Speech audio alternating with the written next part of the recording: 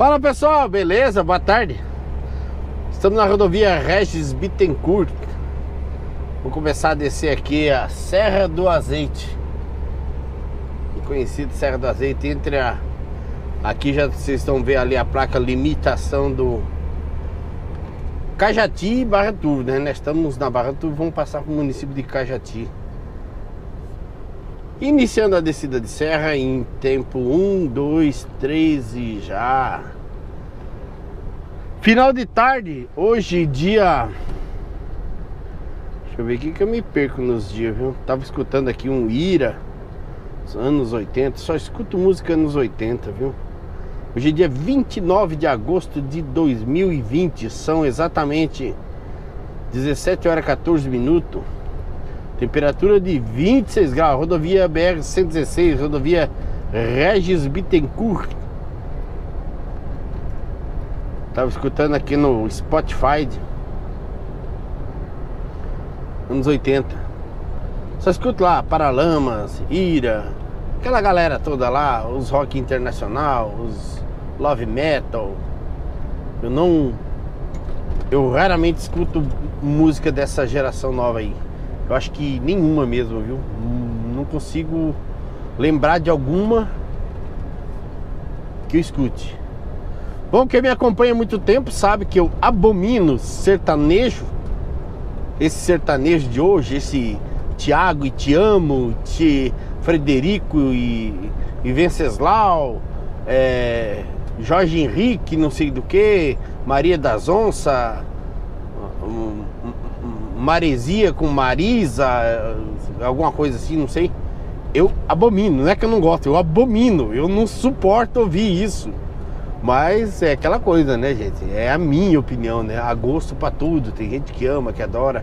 E a gente tem que respeitar o gosto de todos, né? Como gosto que respeitem os meus, também eu respeito o gosto todo. Eu mesmo não ouço. E se eu tiver aqui num ambiente onde esteja tocando esse tipo de música, eu não vou. Por vontade própria, eu não vou. Olha que, que bacana esse impacto aqui. Eu não vou. E se eu puder sair de um lugar que estiver tocando isso, eu vou sair. Se for ao vivo, então. aí, aí, é, aí é pior ainda, viu? Mas é uma questão de gosto, gente. Eu não gosto mesmo. Eu acho que a nossa. A, a minha geração, né? A geração dos cinquentões aí, sessentões, os quarentões, eles é a gente cresceu de uma forma bem diferente, né? Nossas músicas eram diferentes, né? Como no nosso tempo também, né? Os pais da gente não gostavam que a gente escutasse Led Zeppelin, era coisa do diabo, Sepultura, Osbourne, é, Iron Maiden. Aquilo no meu tempo era tido como bruxaria, coisa do demônio, do diabo. Eles queriam escutar lá seus anos 60, 40, né? Então, são, é o tempo que vai passando. Mas ainda bem, né, que a gente tem um gostos diferentes, a gente vai gostando de coisas diferentes. E o, o, a moda de viola eu já aprecio, eu já gosto. Até alguns sertanejos, é, tipo G. Giovanni, João Mineiro Marciano, Milionário Zé Rico, essa, essa, essa safra lá antiga, César de Paulinho, é, Chico Rei Paraná, eu ainda curto aquela é, até aquele ponto ali, sabe? E o e a moda de viola, né? Tinha um carreiro pardinho, aqueles moda de viola eu gosto de todas, né? Embora eu não tenha escutado tanto ultimamente, mas já escutei bastante. Tenho muitas guardadas no meu computador, mas não não tenho escutado tanto. Tava escutando aí na playlist ali as melhores é, nacionais anos 80, né? Daí aparece ali Legião Urbana, Engenheiros, é, Ira, Capital Inicial, essa galera que a gente escutava, né? Mas é uma opinião, cada um, cada um, né? Eu mesmo, esse sertanejo universitário, eu não, não, não, curto, não gosto. Tenho um pavor mesmo. Parece. Eu, pra mim, a música que repete duas, três vezes a mesma frase já acabou a música, viu? E que fica aquele ia, iê, lari, iê. Ele levanta a mãozinha, bate a palminha, para mim aquilo ali já acabou. E hoje em dia, qualquer um, se você tiver dinheiro, você pode ser cantor, né? Se tiver dinheiro, tiver padrinho, porque hoje a, a computação tá avançada, né? Você sintetiza as vozes, você faz tudo. E é tudo um ritmo só, né? Se você for analisar essas músicas sertanejas, eu que não ouço, né? Às vezes, acidentalmente, acabo escutando alguma quando vou escutar uma notícia no rádio, alguma coisa, mas eu não ouço. E televisão aberta também, já faz acho que uns seis ou sete anos que eu não, não assisto televisão, não sei mais nem que tipo de programação que tem. Não faço ideia do que, que passa mais na televisão. Às vezes relancemente dentro de um restaurante, quando você está indo almoçar, na estrada, no posto, que tá lá você. Mas eu não presto atenção não. A não ser que for alguma notícia, jornal, alguma coisa assim, mas fora isso, sem chance, não, não, não assisto não. Nem tenho televisão aqui. É, uso é, YouTube, Netflix, Facebook, essas coisas. Mas televisão aberta não assisto mais. Iniciando aqui, já passamos aqui pelos primeiros bananeiros ali. Conhecida Serra do Azeite aí. Hoje o movimento para subir sentido São Paulo é tranquilo, né? Sábado. É, já para vir, quem vem de São Paulo está bem grande, eu te vendo ali uma movimentação bem grande. A serra aqui ela dispõe de vários radares, funcionando ou não, não sei. Se tem algum funcionando ou não.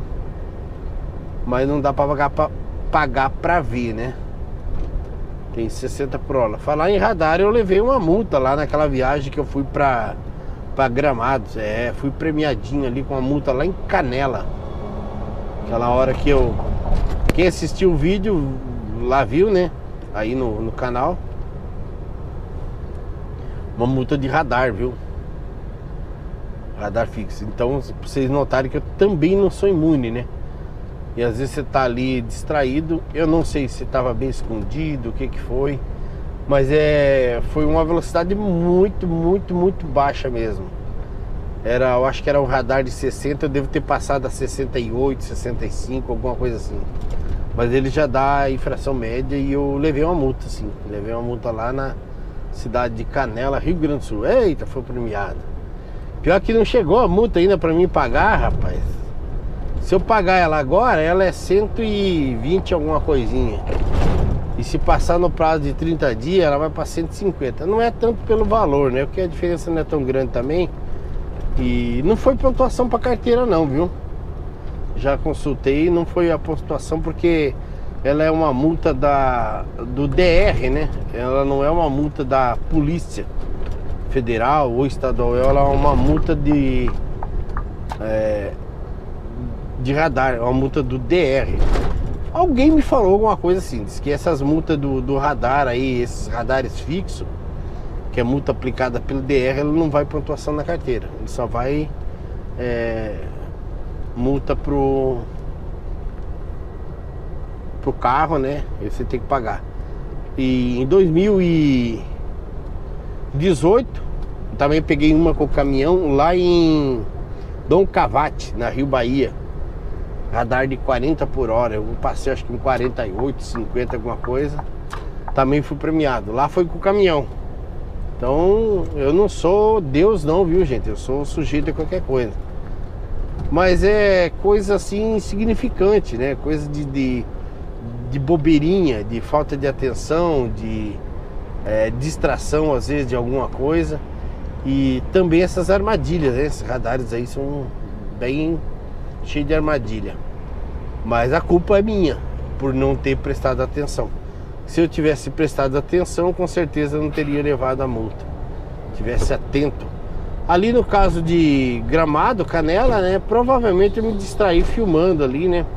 Tava com a GoPro ligada e falando sobre o lugar e me distraí com a filmagem e eu levei a multinha.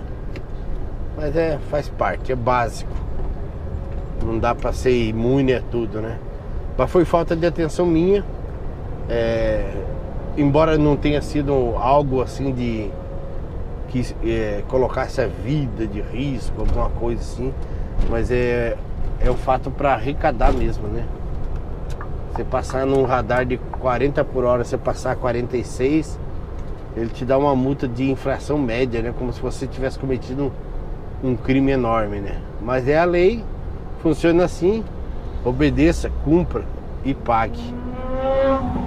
Olha, de vez em quando um desses vai pro chão, né?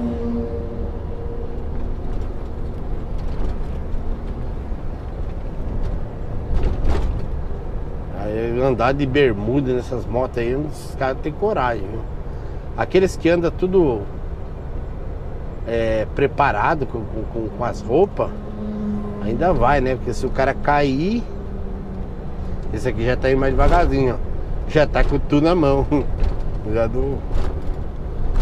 Aqueles que andam mais é, equipado, ó, que nem esses ali, ó. Ainda tem uma segurança a mais, né? Que se cair, tem protetor de cotovelo, de braço, de mão, luva. E tá bem mais confortável. Sessentinha. Estamos carregados. Deixa eu dar uma limpadinha nesse para-brisa, tá meio sujo. Tem que limpar por dentro, acho que tá muita poeira. Viu? Vai nos lugares cheios de pó, gente. Pega tanta poeira nesse para-brisa dentro do caminhão. Olha o sol na cara aí. Muitos acidentes já deram nessa, nessa, nessa serra. Ainda dá, aí ó, você pode ver aí as muretas todas arrebentadas. Ainda tem muitos acidentes ainda. Diminuiu muito, muito, muito, muito. Diminuiu 90% dos acidentes aqui. Mas era nessas curvas aí, acidente aí era todo dia, todo dia, dois, três. Pode ver que cada curva aí tem um radar de 60 que é para diminuir mesmo, sabe? Porque se não tiver radar, ninguém obedece não, viu? Pessoal não obedece. Pois é, estamos indo aí, eu vou pegar folga lá pro dia 10, mais ou menos de setembro. Eu vou lá em Agronômica, Santa Catarina, alguém conhece? É o nome da cidade, viu? Um grande produtora de arroz aí. Tem até a Ferruz lá, que é a festa do arroz, né? Não agora por causa dessa pandemia, né? Mas é. Eu vou lá em agronômico. O que, que vocês acham que eu vou fazer em agronômico, viu? Eu quero achar uma, uma pousada muito top lá em é, Rio do Cedro. Se alguém tiver algum lugar bacana para me indicar, para mim ir lá em Rio do Cedro, vou lá um lugarzinho bacana, uma pousada que tem um vinho, um lugarzinho para passear. Gosto de um lugar tranquilo. Rio do Cedro, lá em Agronômica mesmo, aquela região ali. Vou lá perto de onde eu nasci, em Ibirama, viu? Fui registrado em Ibirama, né? Nasci, eu nasci lá num lugar que nem existe no fim do mundo. Fim do mundo mesmo. Nasci num lugar chamado Rio Bruno. Depois de Vitor Meirelles, vai lá pra dentro, sobe a Serra da Abelha. É, tem uma serra lá que chama Serra da Abelha. Dona Ema. Aí vai lá pro Denic. Depois vai lá pra dentro do Rio Bruno. Ribeirão do Ouro, Ribeirão da Prata. Eu fui batizado em José Boiteus. É um nome francês, né? José Boiteus. E e registrado em Ibirama, perto de Rio do Sul. E eu vou passear na minha folga lá em. Eu vou passar lá em agronômica. O que, vocês acham que eu vou fazer lá? Vamos ver se vocês são espertos. Eu vou a passeio, mas eu vou fazer algo específico lá. E daí lá no Rio do Cedro, que também não é muito longe, eu quero ver se acho algum lugar para mim ir lá bacana. O meu destino é esse, já está traçado, eu só preciso me organizar para ver o que, que, eu, que eu acho. Eu vou ver do Booking, né? No Trip Divisor deve ter algum, alguma coisa lá. Ou no Booking.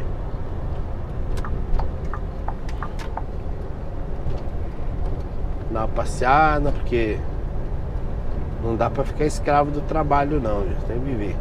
Tô descendo a serrinha aqui, daqui a pouco já tá na hora de encostar. São 5 e meia. É, como é que tá o áudio aí, gente? Eu voltei a usar o microfone na GoPro. Ele tava. Tava. Tinha um fiozinho que tinha escapado. E eu soldei ele. Mandei soldar ali no, no PX do Chipinho. O rapaz nem me cobrou lá, viu? Gente boa. Ele soldou ali. Agora eu tô usando. Só que ele tá sem a, a capinha abafadora ali do, do, do áudio. Talvez saia um pouco de interferência. Mas eu acredito, eu fiz um testezinho ali, tava melhor, viu?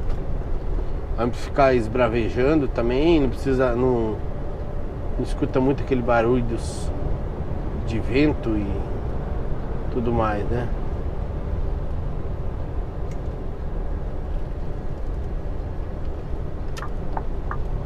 Finalzinho de tarde. Tem uns aí, uns cabeçudos aí que não respeitam, rapaz. Desce aí de, com tudo mesmo, né? Principalmente automóvel, carro. Carro pequeno, né? Quero falar. E caminhão também.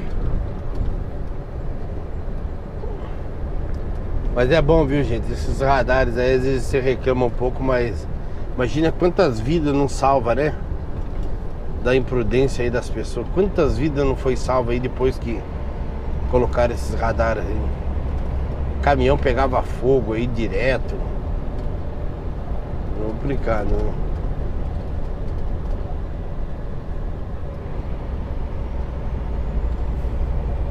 Cada curva, todo dia tinha um tombado, um tombado. É, não é fácil. Acabando já, pessoal. Então um abraço pra vocês aí. Não esquece de se inscrever aí no canal, viu, gente? Dá uma força aí. O canal tá crescendo pra caramba.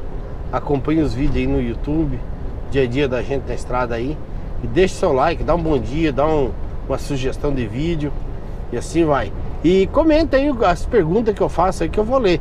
Quando eu dou um coraçãozinho no comentário, é porque eu li seu comentário, viu? Às vezes não dá para mim responder tudo.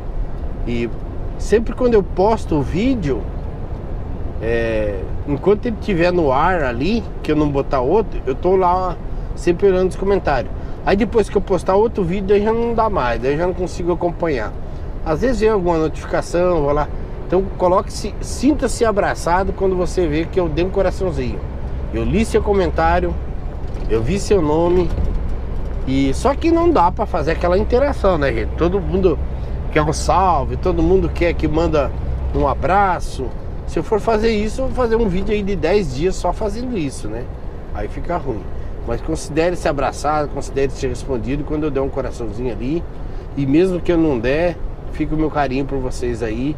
Eu agradeço vocês deixarem entrar na casa de vocês, vocês assistirem aí e passar aí.